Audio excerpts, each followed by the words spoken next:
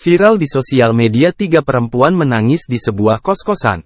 Ketiga perempuan itu menangis bukan karena jadi korban kejahatan, melainkan menangis haru usai mendapat pertolongan. Dalam narasi di video yang beredar, ketiga perempuan itu kelaparan karena kehabisan uang. Kemudian mereka bertamu ke tetangga kosnya untuk meminta nasi. Diketahui video ketiga perempuan menangis diduga kelaparan itu dibagikan oleh akun Instagram undercover.it, Kamis, tanggal 13 Juni tahun 2024. Tampak suasana haru ketiga perempuan menangis bercucuran air mata. Sembari menangis sesekali mereka menyeka air matanya sembari tersenyum malu. Sementara itu dalam narasi video disebutkan kisah pilu ketiga perempuan tersebut. Disebutkan ketiga perempuan itu bertamu ke tetangga kos di sebelahnya. Mereka menggedor pintu malam-malam untuk meminta nasi satu piring.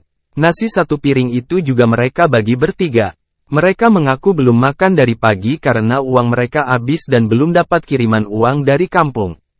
Kasian banget tetangga kos sebelah gedor pintu kamar malam-malam terus minta nasi satu piring bagi bertiga.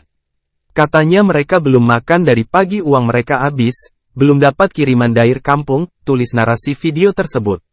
Menurut akun @randomania9798, ketiga perempuan tersebut dari kampung merantau untuk mencari kerja.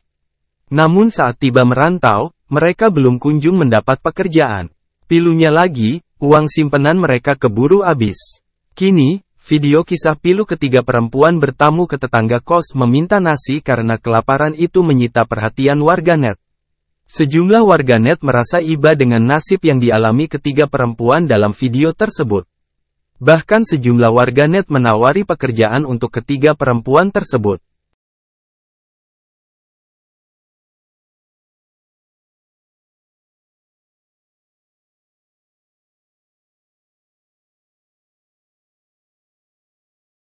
Download Tribun X sekarang. Menghadirkan lokal menjadi Indonesia. Terima kasih sudah nonton. Jangan lupa like, subscribe, dan share ya.